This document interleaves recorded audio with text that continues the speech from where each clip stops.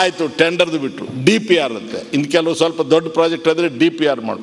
D P ಆರಿಗೆ ಮತ್ತೆ tender ಕರಿ ಡಿ ಪಿ ಆರಿಗೆ ಟೆಂಡರ್ ಕರೆದು ಅವ್ನು ಫೈನಲೈಸ್ ಮಾಡಿ ಡಿ ಪಿ ಆರ್ ಆದಮೇಲೆ ಮತ್ತೆ ವರ್ಕಿಗೆ ಟೆಂಡರ್ ಕರೆಯೋದು.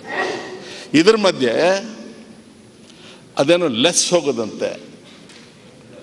ಇವರು ಇಂಜಿನಿಯರ್ಸು ಸಂಬಳ ತಗೊಳ್ಳೋರು ಸ್ಕೆಡ್ಯೂಲ್ ಆಫ್ ರೇಟ್ಸನ್ನು ನೋಡಿಕೊಂಡು, ಈ ಪ್ರಾಜೆಕ್ಟ್ ಮಾಡೋಕ್ಕೆ ಎಷ್ಟು ಖರ್ಚಾಗುತ್ತೆ ಅಂತ ನೀವು ಮಾಡ್ತಿರಲ್ಲ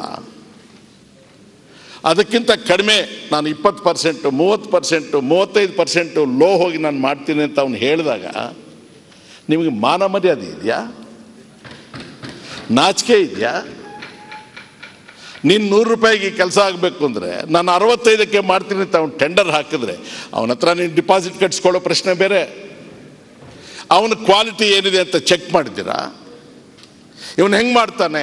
ನಾವಿಷ್ಟು ಜನ ಪರಿಣಿತರು ಸೇರಿ ನೂರು ರೂಪಾಯಿಗೆ ಮಾಡ್ತೀನಿ ಅಂತ ಇವನು ಅರವತ್ತೈದಕ್ಕೆ ಮಾಡ್ತೀನಿ ಅಂತ ಹೇಳ್ತಾನಲ್ಲ, ಇದು ಜಿನಿಯನ್ನ. ಅದು ಜಿನಿಯನ್ನಾಗಿದ್ದರೆ ಅವನ ಎಸ್ಟಿಮೇಟ್ ಪ್ರಕಾರ ಅರವತ್ತೈದು ರೂಪಾಯಿಗೆ ಅವ್ನು ಮಾಡ್ತಾ ಇದ್ದು ಮೂವತ್ತೈದು ಇವ್ರು ಎಕ್ಸಸ್ ಹಾಕಿದ್ರೆ ಇವ್ರು ಇರಬಾರ್ದು ಸರ್ವಿಸಲ್ಲಿ ಅಥವಾ ಇವ್ರು ಮಾಡಿರ್ತಕ್ಕಂಥದ್ದು ಸರಿ ಇದ್ದು, ಅವನು ಸರ್ಕಾರಕ್ಕೆ ವಂಚನೆ ಮಾಡಿದ್ರೆ, ಅವ್ನು ಮಾಡ್ತಕ್ಕಂಥ ಕೆಲಸದ ಮೇಲೆ ನಿಗಾ ಇಡಬೇಕು, ಅವನು ಬ್ಲ್ಯಾಕ್ ಲಿಸ್ಟ್ ಮಾಡಬೇಕು. ಎರಡೂ ಇಲ್ಲ. ಇದಕ್ಕೆ ಬೇಡಿಕೆಗೆ ನಾನೀಗ ನಿಮ್ಮ ಸಮ್ಮುಖದಲ್ಲಿ ಸಹಮತ ಇದೆ, ಮಂಜೂರು ಮಾಡಿದ್ದೇವೆ.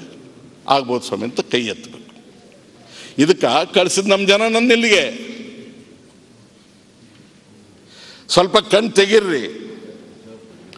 ವಾರಸ್ದಾರರಾಗಿ, ಧರ್ಮದರ್ಶಿಗಳಾಗಿ ಸಾರ್ವಜನಿಕ ಹಣಕ್ಕೆ ಎರಡು ಲಕ್ಷ ಅರವತ್ತೈದು ಸಾವಿರದ ಏಳ್ನೂರ ಇಪ್ಪತ್ತೊಂಬತ್ತು ಕೋಟಿಗೆ ಅನುಮತಿ ಕೊಡೋದಕ್ಕೆ ನಾವಿಲ್ಲಿ ಕೂತಿದ್ದೇವೆ. ಎಷ್ಟು ಜನರಿಗೆ ಈ ಪ್ರಿವಿಲೇಜ್ ಇದೆ ಹೊರಗಡೆ ಇರೋರಿಗೆ? ಅವ್ರು ನಮಗೆ ಕೊಟ್ಟ ಅವಕಾಶವನ್ನು ದುರುಪಯೋಗ ಮಾಡ್ಕೊಳ್ಳೋದಕ್ಕೆ ನಾವು ಇಲ್ಲಿಗೆ ಬಂದಿಲ್ಲ.